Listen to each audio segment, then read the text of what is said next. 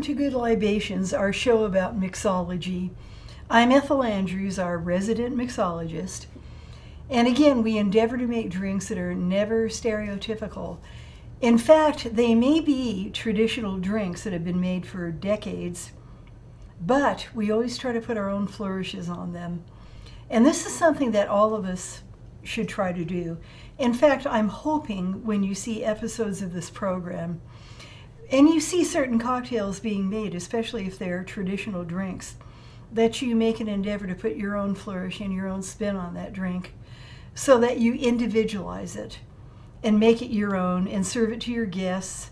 And they will know that you're not copying anyone and that no one else makes this particular drink this way. And we're sort of making a, a journey through the Americas, you might say. We started out in South America, in Brazil, the only Portuguese speaking country. And we started with cachaça in cocktails, five of them in all, made with cachaça. And of course, there's myriads of other cocktails that you can make with cachaça.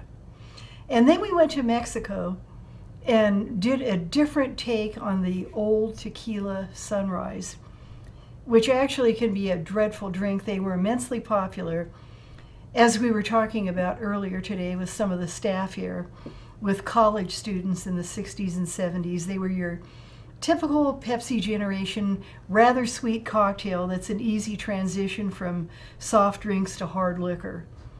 But we made it by muddling the orange so that you're getting the infusion from the peel, you're getting fresh orange juice, you're getting a hint of grenadine, not a bath of it. So you have the color and the beauty of the drink, but it's slightly tarter especially if you make it with Valencia oranges. And it, again, you don't have to use top shelf tequila to make it a nice cocktail. So doing little things like that can totally redefine a cocktail and make it so much better and make it yours.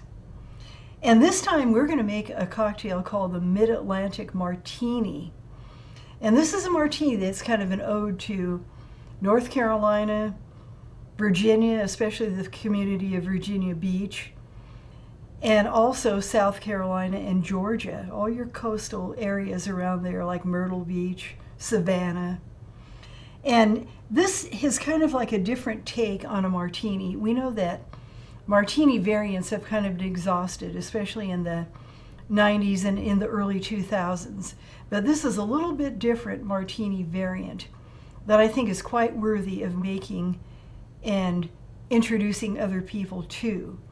So we're going to go ahead and make it, and it's a vodka martini. It works better with vodka, although those, those of you who are gin aficionados could make it with gin if you wished. And we do use dry vermouth in this drink too, so it is a martini proper. It's not uh, a total spin-off, the deep end, we'll put it that way. So I'm going to go ahead and, you know, fill our cocktail shaker with the appropriate amount of ice. And this is a shaken drink. And of course, we've discussed endlessly before the controversy over shaken versus stirred. And those who advocate stirred martinis say that you're upsetting the molecules when you shake the drink, that you should stir it only. And to me, a martini is so much more refreshing and enjoyable if it's shaken rather than stirred. James Bond was right. And sometimes it's nice to use Lillet instead of um, using vermouth, but we're going to go ahead and use vermouth with this. And again, we're going to use a very modest vodka. And vodka martinis are a hair more popular than gin martinis. And there are those who argue, too, that a real martini, as they say, should have gin but there's nothing wrong with a vodka martini. It's perfectly worthy and perfectly good. And in certain instances, it's better and more accessible with certain blends and liquors than a gin martini. So we're going to add a little bit of vermouth, and I am not of the school where you swish it around in the glass and dump it out. You should add an amount that is not so subtle that you can actually detect that it is in there. Because trust me, you will be able to tell if vermouth is missing from a martini. whether it be a conventional martini or a martini variant. And this is, again, a martini variant. So we're going to put a bit of vermouth in it. Now, when I was a, a child and I was one of those precocious kids, I used to make handshaken martinis and Manhattans for my parents. Back in the day, in the 50s and 60s, it was practically a ratio of half and half, half gin, half vermouth, half vodka, half vermouth. Now, things went totally the opposite direction, but maybe a little too much so. Because people, again, were just putting in the glass, swishing it around, and dumping the residue. And unless you have incredibly precise taste buds, you're not going to even detect that much vermouth. We need more than that. So anyway, the other ingredient that goes in this drink is lemon. And not just a lemon twist and the infusion of the peel, but we want to add some actual lemon juice into this particular martini, the Mid-Atlantic. So that is precisely what we have done. And got in a bit of infusion from that peel too. And we're going to go a step farther like I usually do and put part of the spent shell in there. Because then those flavors can really marry and that lemon essence can really get into the drink. Now, Mid-Atlantic, because we're going to put a little bit of orange in it, very, very little, and then after this we're going to put a bit of peach, peach, excuse me, in it, because as we know, Georgia is the peach state, and in those particular states, that is where originally most of our peaches were grown, although now mostly in California.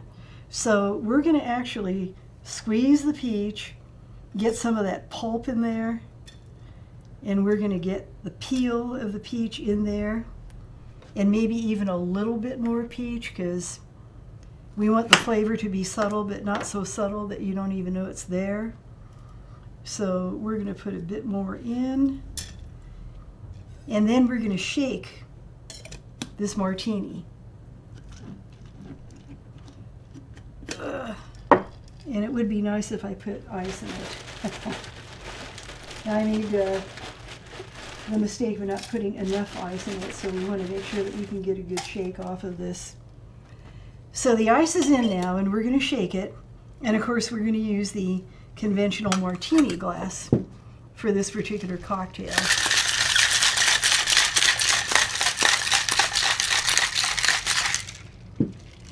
And those who say that we're bruising the gin, or in this case the vodka, forget them. This is not chemistry class. Anyway, we're going to go ahead and pour it in.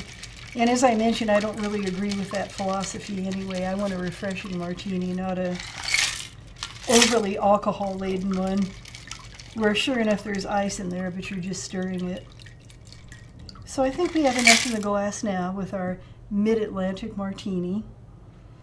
And very simply, we're just going to put a bit of lemon peel as um, our garnish in here. Only a bit. And that lemon was not very cooperative. And I always like to show mulligans and mistakes on my show because things are never going to go precision perfect. I don't care who you are. I don't care how many years of experience that you've had making cocktails. Things are not going to go perfect. Sometimes ice is going to get spilled. Sometimes you're going to look ungainly when you bend over to try to pick up the ice. Sometimes things don't cut correctly. Sometimes you break glasses. It happens to the best. But at any rate, I'm going to give a taste of this and see if this is a worthy cocktail, as I hope it is. Oh, yes, that is very nice. Very, very nice. And the ripe peach uh, adds just a little bit of residual sugar. Now some might want to add either homemade simple syrup or sugar to this, but I prefer it as it is. That is so refreshing and good and so different. Mid-Atlantic Martini. And as I always say at the end of my programs, thank you for tuning in to Good Libations, and let's always be sensible about our alcohol consumption. Let's always be careful. Thank you again. I'm Ethel Andrews. Goodbye.